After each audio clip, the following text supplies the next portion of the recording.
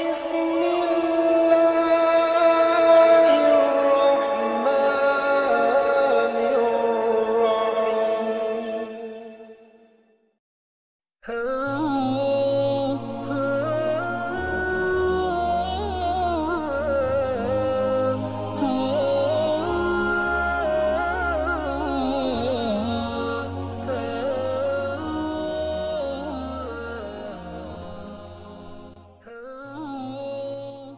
Bismillahirrahmanirrahim.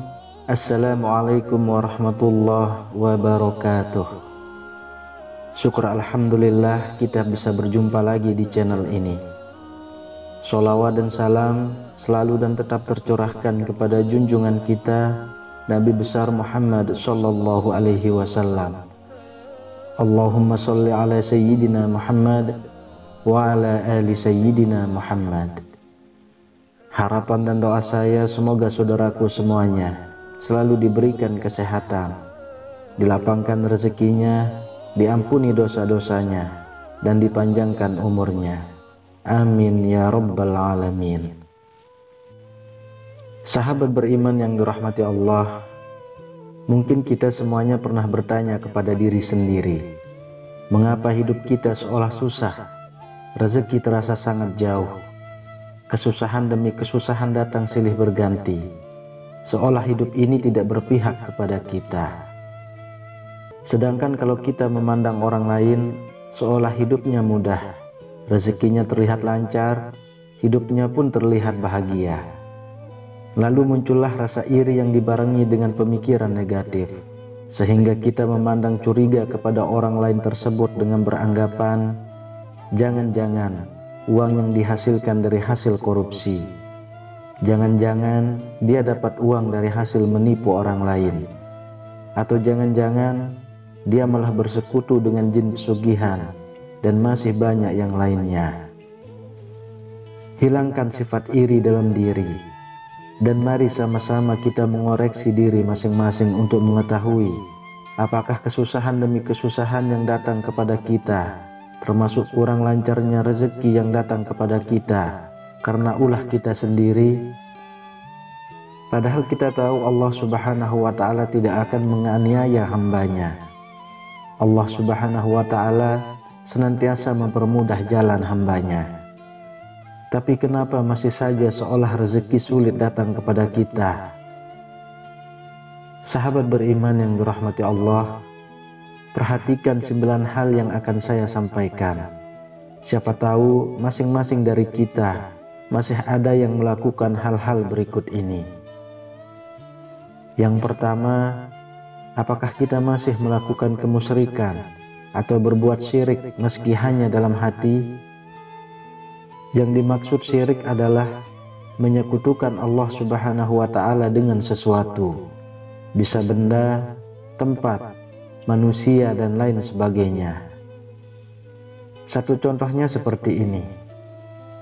Kita percaya bahwa rezeki yang datang kepada kita adalah karena kita mempunyai benda keramat yang mempunyai petuah mendatangkan rezeki.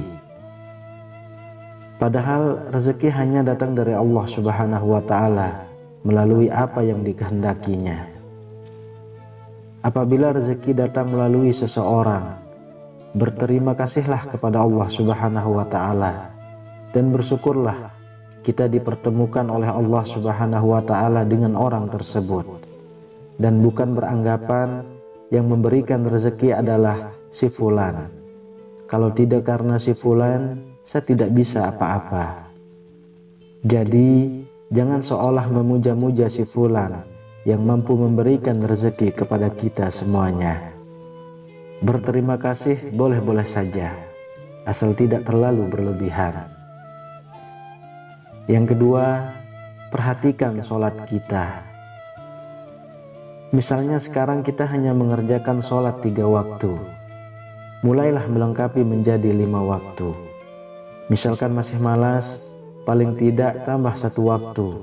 Kemudian di hari berikutnya, tambah satu waktu lagi dan jika sudah lengkap lima waktu, pertahankan dengan cara bersegeralah menunaikan kewajiban saat terdengar panggilan azan.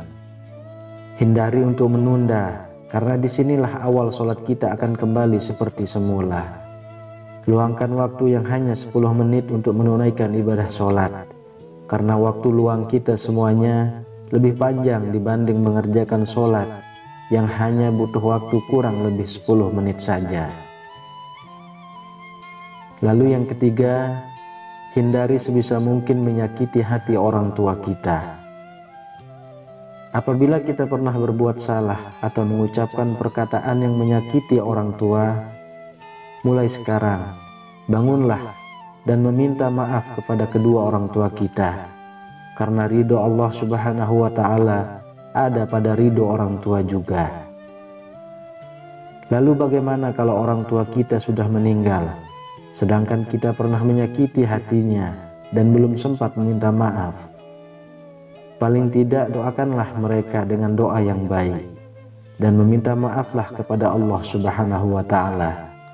Karena sesungguhnya Allah Subhanahu wa taala Maha belas kasih kepada hambanya. Yang keempat, apakah kita memakan harta yang bukan hak kita? Dalam hal ini sangat luas penjelasannya. Namun saya contohkan yang mudah saja.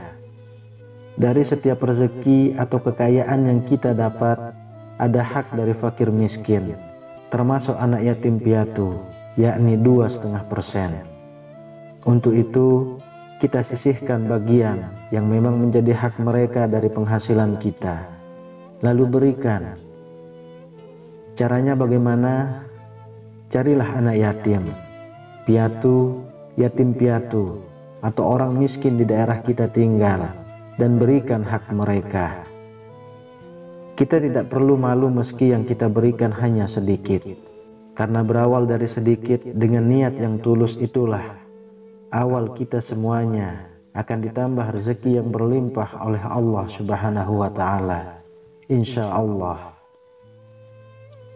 Yang kelima, berdagang dengan tidak jujur. Apabila kita hendak melakukan jual beli hendaknya tidak mengurangi takaran. Bahkan kalau bisa, lebihkan sedikit takaran dan niatkan untuk bersedekah. Apabila jual beli barang, utarakan barang tersebut sesuai dengan kondisinya. Contoh misalnya, jual beli HP bekas. Jika ada yang rusak, utarakan saja kekurangannya dan berikan dengan harga yang pantas. Ada yang bilang jujur akan hancur, tapi perlu diketahui, mungkin kita akan menerima lebih sedikit daripada yang tidak jujur. Tapi yakinlah, kita akan mendapat lebih besar di kemudian hari. Orang yang tidak jujur mungkin akan mendapatkan banyak di awal, akan tetapi setelahnya akan mendapatkan sedikit karena perbuatan kurang jujur yang dilakukannya sendiri. Untuk itu, saran kepada kita semuanya, jika sifat ini masih ada pada kita semuanya, mulailah sedikit demi sedikit kita hilangkan. Karena Allah Subhanahu wa taala Maha mengetahui apa yang kita lakukan. Yang keenam, apabila kita semuanya sudah berumah tangga, hindari untuk menyia-nyiakan atau menyakiti anak maupun pasangan hidupnya. Apabila kita merasa kesal dengan kelakuan anak atau pasangan, kalau bisa, cobalah untuk mengoreksi diri dulu. Kenapa pasangan atau anak kita belum mampu seperti yang kita inginkan? Lalu diskusikan bersama dan temukan akar permasalahannya.